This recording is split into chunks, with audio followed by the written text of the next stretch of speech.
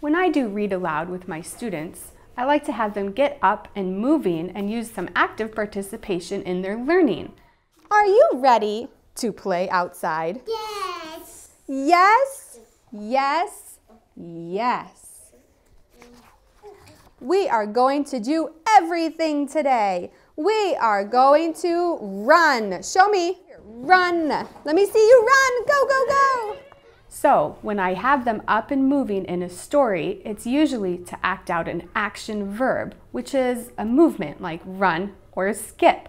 We are going to skip. Show me skip.